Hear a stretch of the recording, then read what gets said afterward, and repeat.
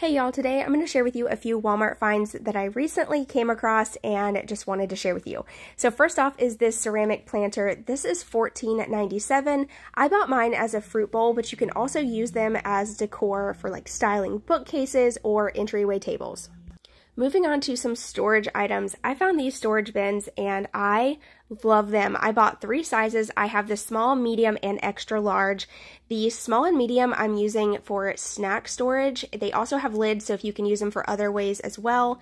And then the extra large I'm using under my daughter's bed for extra toy storage. Last, I wanted to show you these shoe boxes with lids. I found these for $9.98 for a pack of two. These are awesome for storing items up underneath your kitchen sink, arts and crafts. I love the look of clear bins, but sometimes they can get pricey. So using these as storage containers instead of for shoes is a great way to get the look on a budget.